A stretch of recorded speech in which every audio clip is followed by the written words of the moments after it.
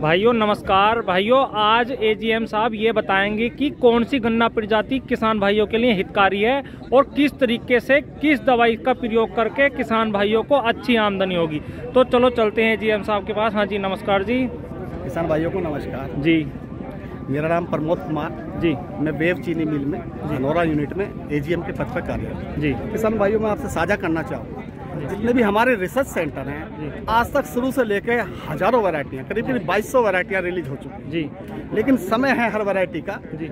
समय के साथ हर वैरायटी अपनी परफॉर्मेंस देती है जी। और उसके बाद फिर चली जाती है। जी। इस समय पे जो गन्ने की बुआई चल रही है या पिछले तीन चार साल से जब से हमारी होनार वैरायटी ज़ीरो दो सौ अड़तीस रेड रोड के संपर्क में आई है। जी। उसके कारण कई मिलें तो जो है अपनी कैपेसिटी के अनुसार गन्ना ही प्राप्त नहीं कर पा रही। जी। हमारी चीनी मिल एरिया में भी इस बीमारी ने पैर पसारे हैं जी। जिसको हमको हज़ारों हेक्टेयर गन्ना जो है जी। हमारा खराब हुआ है। जी। उसको भरपाई करने के लिए देखो समय के साथ बदलना बहुत ज़रूरी है। जी। एक आदमी कोई सही काम कर रहा है अगर ट्रैक से वो मामला उतर जाता तो फिर हमें दूसरा कोई ऑप्शन रखना चाहिए उसका। सही बात है। इस समय काशकारों के बीच में तीन वेराइटियाँ इस तरह की हैं जो। भरपूर पैदावार देती हैं। उनका। रख रखाव ठीक कर लिया जाए समय से बुआई हो जाए। जी। तो बहुत अच्छी पैदावार देने वाली वैरायटी है जिसमें पहली की वैरायटी के बारे में मैं आपको बताना चाहूँगा। आप देखिए राहुल जी ये ज़ीरो एक सौ अट्ठारह गन्ना है। जी।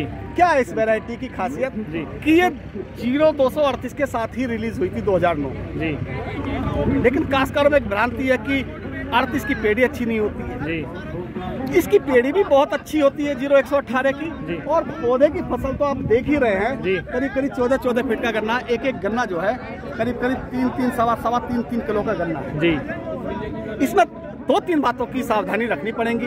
पहला ये है कि टाइम।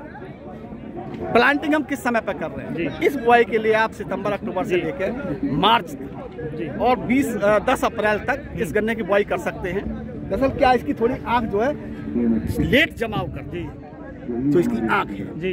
आप देखेंगे अगर इसकी बुआई हमने समय पे कर दी और जो इसकी रिकमेंडेड डोज है वो हमने अ, अ, फ़सल को दे दी तो निश्चित रूप से इसकी पैदावार बहुत अच्छी होती है। पेड़ी के लिए हम काश्तकारों से बेना चाहेंगे।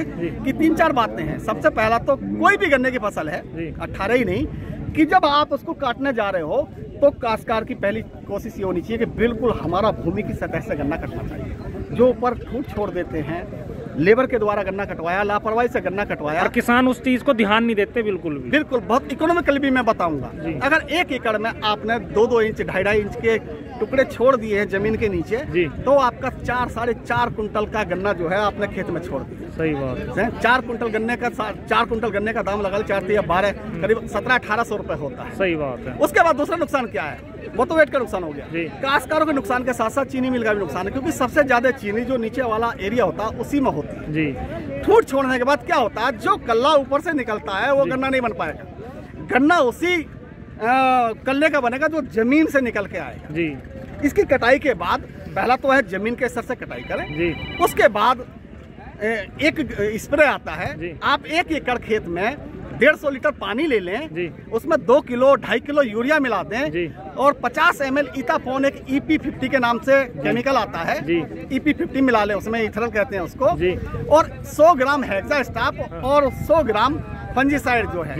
जी। मिलवा के अच्छी तरह से घोल बना के जो हमारी गन्ने की नाली है जो ठूट है हमारे जी। उनको पत्तियों को साफ़ करा के आप उस पर एक स्प्रे करवा दीजिए जी। तो आपका जो नॉर्मल विधि में आपका एक महीना डेढ़ महीना कल्ला निकलने में लेगा जी। वो आपका जो है बारह तेरह चौदह दिन में जो है गन्ने के नए अंकुरण ज़मीन से निकलने शुरू हो जाएँगे। हाँ सही बात है। इससे क्या होगा कि जितनी मात्रा में ज़्यादा अंकुरण निकलेंगे हमारे वही गन्ने बनेंगे। सही बात। ये काश्तकार अभी जानकारी के अभाव में ये वाली क्रियाएँ ना करके अपना जो देसी तरीका वही अपनाते हैं, जिसके कारण ये हमारी वैरायटी काश्तकारों के लिए कहने का हो जाता है कि सब फुटाओ नहीं इस चीज़ को तो किसान भाई करते ही नहीं लगभग पाँच ही परसेंट कर रहे हैं इस चीज़ को। देखो अलग कुछ अलग प्राप्त करने के लिए कुछ अलग करना पड़ेगा। जी। वैरायटी कोई खराब नहीं होती है केवल हमारा कार्य करने के तरीकों में अंतर हो सकता है। सही बात है। वरना वैरायटी कोई खराब नहीं होती। जी। आप मैं दूसरी वैरायटी पे आपको ले चलता हूँ। जी। ये देखिए पंद्रह ज़ीरो तेईस। जी। ये नई वैरायटी है। जी। चार साल पहले रिलीज़ हुई थी। जी। बहुत ही मज़बूत गन्ना है। जैसे हमारा अट्ठारह गन्ना अगर इसको काट के देखेंगे तो बिल्कुल भी रत्ती भर भी इसमें सोत नहीं है सॉलिड गन्ना। ठोस गन्ना बिल्कुल। बिल्कुल। एक सावधानी रखेंगे। हमारा काश्तकार भाइयों से ये अनुरोध रहेगा। कि इसको क्वार कार्तिक की बुआई के लिए कंसीडर न करें। अच्छा। क्वार कार्तिक में बोने वाला गन्ना नहीं है। जी। आप इसको जो है मार्च से लेकर फरवरी मार्च से लेकर कोशिश करें ज़्यादा से ज़्यादा रकबा हमारा गेहूँ की कटाई के बाद जो बोया जाए जी। वो इस वैरायटी में सबसे बेस्ट अंतर्गत बोया सबसे बेस्ट गेहूँ ये ऐसी वेरायटी है जो बढ़ने में कम समय लेती है। जी। आप अप्रैल में इसको बोएँगे गेहूँ काटने के बाद बोएँगे तो आपका आगे जो है फरवरी तक जो है पूरा का पूरा दस बारह फीट लंबा गन्ना बन जाएगा भरपूर पैदावार देगा। क्या है? जब काश्तकार ये कहते हैं साहब इसको सियार खाते हैं। जो। मीठी चीज़ है उसमें नुकसान तो होगा कीड़े भी लगेंगे आदमी भी खाएँगे सुअर भी खाएँगे सियार भी खाएँगे पशु भी खाएँगे। जी। एरिया इसका कम है। जी। काश्तकार भाइयों से यही अनुरोध है कि अगर एक एक डेढ़ डेढ़ बीघा हर काश्तकार इस वाले गन्ने की बुआई कर दे तो अड़तीस को बीट करने वाली वैरायटी है। जी। माला माल कर देगी किसानों को। नहीं सही बात है। पंद्रह ज़ीरो तेईस वैरायटी है। जी। बीज कहाँ से मिलेगा? बीज मिल जाएगा क्षेत्र में मिल जाएगा हमारे पास इसका करीब करीब एक लाख कुंटल गन्ना है बीज का जी। जो हमने सुरक्षित कर रखा है। बहुत अच्छी वेरायटी उसके बाद एक वेरायटी और है जी। देवल साहब। जी। जो ये भी चार साल पहले आई थी चौदह दो सौ एक। जी। पंद्रह ज़ीरो तेईस और चौदह दो सौ एक में बस थोड़ा सा विरोधाभास है। जी। ये गन्ना जितना अच्छा आपका कुआर कार्तिक में पैदावार दे सकता है। जी। इसका कोई जवाब नहीं। जी। नीची ज़मीन के लिए भी ये रिकमेंडेड है। जी। और जो कुआर कार्तिक में हमारे काशकार लोग भाई गन्ना बोना चाहते हैं इस वैरायटी को अपना लें। निश्चित रूप से सौ कुंटल के ऊपर बीघे की पैदावार ये वैरायटी गिरने की समस्या भी नहीं बिल्कुल नहीं गिरता है पत्ती सीधी खड़ी है पशुओं का नुकसान बहुत कम है। जी। दूसरा पत्ती अपने आप इसकी छे- छुट के नीचे गिर जाती है। जी। छिलाई की कोई समस्या नहीं है।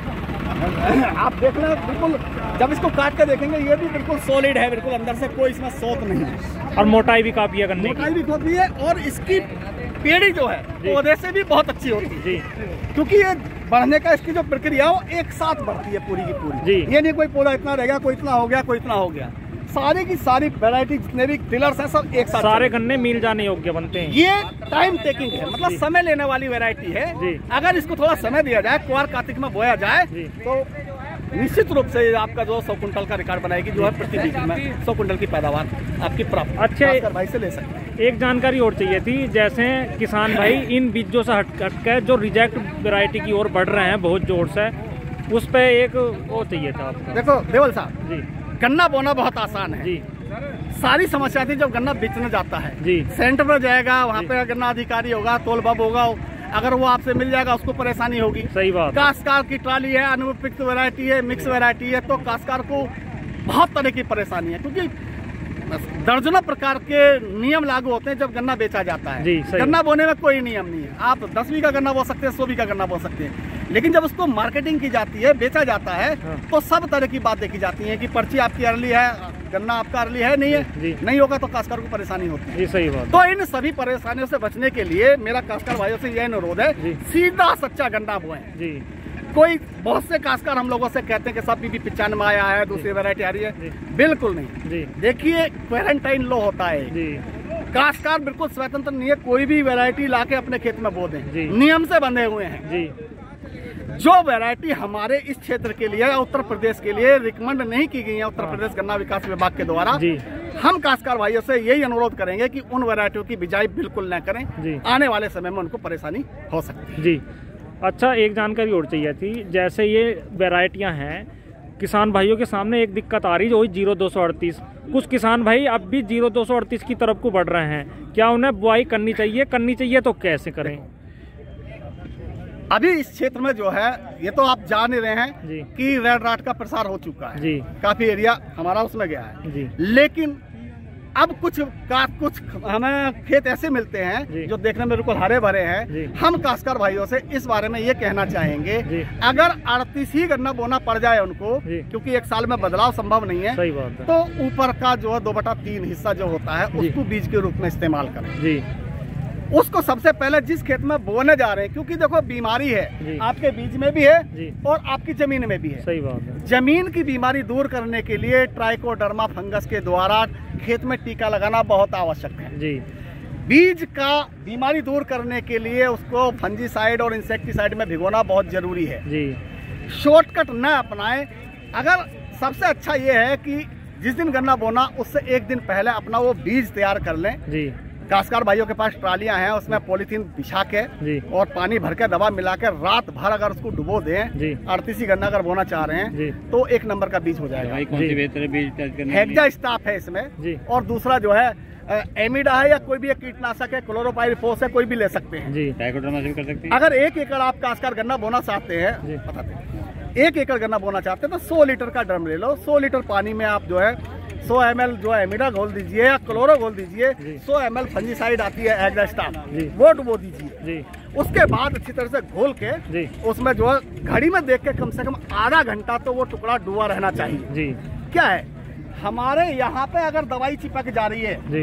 वो मायने नहीं रखती है। जी। जो हमारा कटा हुआ एंड है वहाँ पे अगर डूब जाएगा गन्ना तो अंदर इतनी इतनी दवाई भर जाएगी। जो बैठती है। दवाई भरने का मतलब है बीमारी के कीड़ों के रास्ते सारे बंद ताला लग गया। जी। तो मेन उद्देश्य खासकर क्या करते हैं कुछ लोग भाई करते हैं ऊपर से स्प्रे करा देते हैं हेक्जा स्टाफ का। गलत है साहब बिल्कुल। बिल्कुल सही बात जब तक दवा हमारे टुकड़े के गूदे में नहीं जाएगी वो असरदार नहीं होगी। आपके तो यही हम संदेश देना चाहेंगे कि सीधी सच्ची वैरायटी बोए आम जी। काश्तकार हैं। जी। हैं? तो भरपूर गन्ने की पैदावार लें और नई वैरायटियों का गन्ना। सर जी आपका परिचय? जी बिल्कुल सही बात है। भाइयों कितनी सही बात कही बीज के बारे में। सही बीज का चयन करें। एजीएम साहब ने बिल्कुल सही बात कर रहे हैं कि जो भी गन्ना बोएँ हो- और ज़ीरो दो सौ अड़तीस तो खासकर उसका ट्रीटमेंट ज़रूरी है और ज़मीन शोधन भी ज़रूरी है। और ये जो नई वैरायटियाँ हैं सभी किसान भाई थोड़ा थोड़ा करके लगाएँ। अपने खेत में उसकी पैदावार का ही पता चलेगा और यही पता चलेगा कि कितनी दवाइयाँ मांगते हैं। तो भाइयों वीडियो आपको कैसी लगी ये कमेंट में ज़रूर बताएँ। धन्यवाद नमस्कार।